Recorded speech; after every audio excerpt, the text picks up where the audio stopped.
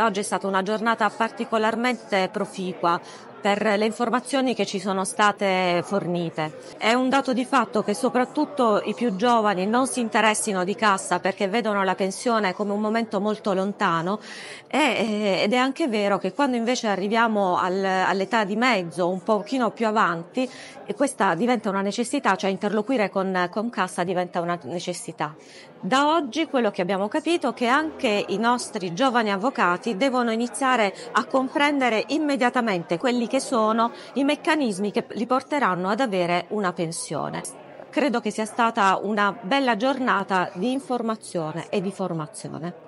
Con la riforma che entra in vigore dal 1 di gennaio 2025 abbiamo raggiunto due obiettivi, la sostenibilità e l'equità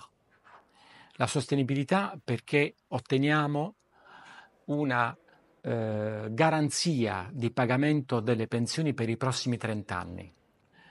una equità perché anche i redditi più bassi avranno la garanzia del pagamento di una pensione, di una prestazione previdenziale. L'obiettivo dell'ufficio della consigliera di parità è quello di favorire l'esatta e concreta uguaglianza paritetica tra uomini e donne nel mondo del lavoro e quindi al mondo del lavoro non si sottrae la libera professione dove